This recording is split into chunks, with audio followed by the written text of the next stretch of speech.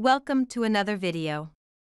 This video includes 10 nursing practice questions to teach you how to master the NCLEX. At the end of the video, check out the description for studying resources and more. Practicing nursing questions frequently is the best way to pass many nursing exams. Now let's begin. Starting with question 1. The nurse writes the following nursing diagnosis for a client in acute renal failure impaired gas exchange related to decreased red blood cell production, increased levels of vitamin D, increased red blood cell production, decreased production of renin. The correct answer is decreased red blood cell production. Red blood cell production is impaired in renal failure owing to impaired erythropoietin production. This causes a decrease in the delivery of oxygen to the tissue and impairs gas exchange. Which of the following nursing orders has the highest priority for a child with epiglottitis? Vital signs every shift. Tracheostomy said at bedside. Intake and output. Specific gravity every shift. The correct answer is tracheostomy set at bedside. If the epiglottitis worsens, the edema and laryngospasm may close the airway and an emergency tracheostomy may be necessary. A male client is scheduled to have angiography of his left leg. The nurse needs to include which of the following when preparing the client for this procedure. Validate that he is not allergic to iodine or shellfish. Instruct him to start active range of motion of his left leg immediately following the procedure. Inform him that he will not be able to eat or drink anything for four hours after the procedure. Inform him that vital signs will be taken every hour for four hours after the procedure. The correct answer is validate that he is not allergic to iodine or shellfish. Angiography, an invasive radiographic examination, involves the injection of a contrast solution through a catheter that has been inserted into an artery. A 70 year old female client is admitted to the medical intensive care unit with a diagnosis of cerebrovascular accident. She is semi comatose, responding to pain and change in position.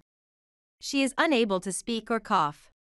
In planning her nursing care for the first 24 hours following a cerebrovascular accident, which nursing diagnosis should receive the highest priority? Ineffective airway clearance related to immobility, ineffective cough, and decreased level of consciousness. Altered cerebral tissue perfusion related to pathophysiological changes that decrease blood flow. Potential for injury related to impaired mobility and seizures. Impaired verbal communication related to aphasia. The correct answer is ineffective airway clearance related to immobility, ineffective cough, and decreased level of consciousness. An effective airway is necessary to prevent hypoxia and subsequent cardiac arrest. A behavioral modification program is recommended by the multidisciplinary team working with a 15 year old client with anorexia nervosa. A nursing plan of care based on this modality would include role playing the client's eating behaviors, restriction to the unit until she has gained 2 pounds encouraging her to verbalize her feelings concerning food and food intake. Provision for a high calorie, high protein snack between meals. The correct answer is restriction to the unit until she has gained 2 pounds.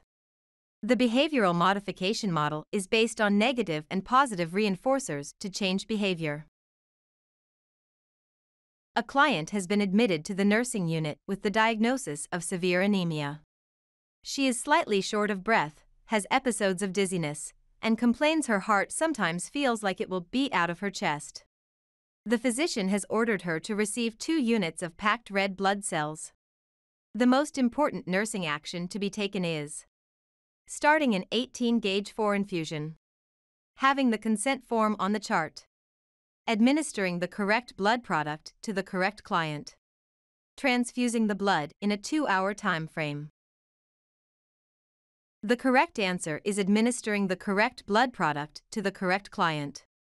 Administering the correct blood product to the correct client will maintain physiological safety and minimize transfusion reactions. The nurse caring for a client who has pneumonia, which is caused by a gram positive bacteria, inspects her sputum. Because the client's pneumonia is caused by a gram positive bacteria, the nurse experts to find the sputum to be bright red with streaks, rust colored, green colored, pink tinged, and frothy. The correct answer is rust colored. Pneumococcal pneumonia, caused by gram positive bacteria, has a characteristic productive cough with green or rust colored sputum. The nurse who is caring for a client with pneumonia assesses that the client has become increasingly irritable and restless. The nurse realizes that this is a result of prolonged bed rest, the client's maintaining a semi-Fowler position, cerebral hypoxia, IV fluids of 2.53 liters in 24 hours. The correct answer is cerebral hypoxia. Cerebral hypoxia causes the client with pneumonia to be increasingly irritable and restless and results from the client not obtaining enough O2 to meet metabolic needs. The nurse is caring for a client who has diabetes insipidus. The nurse would describe this client's urine output pattern as anuria, oliguria, dysuria, polyuria. The correct answer is polyuria. Polyuria is a primary symptom of diabetes insipidus. These clients have decreased or absent vasopressin secretion, which causes water loss in the urine and sodium increases. Assessment of severe depression in a client reveals feelings of hopelessness, worthlessness, inability to feel pleasure, sleep, psychomotor, and nutritional alterations, delusional thinking, negative view of self, and feelings of abandonment. These clinical features of the client's depression alert the nurse to prioritize problems and care by addressing which of the following problems first. Nutritional status, impaired thinking, possible harm to self, rest and activity impairment. The correct answer is possible harm to self.